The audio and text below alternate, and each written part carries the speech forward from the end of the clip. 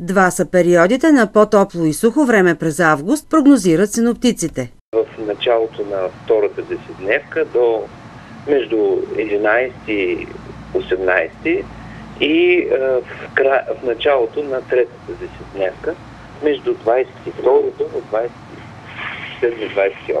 Почиващите по родното крайбрежие ще се радват на много слънце и топла морска вода и в началото на септември. Температурите ще бъдат между средно, между 20, 28 до 30 градуса средни температури. По морето отново ще има много, много слънце и е, сравнително топло време. Знаем, че в края на август приближаваме към есента.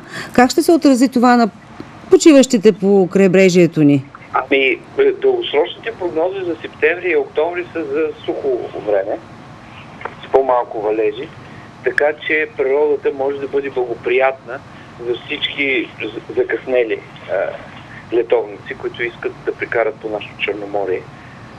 Мисля, че прогнозите ще се сбъднат. Морската вода в момента е с температура 26-27 градуса.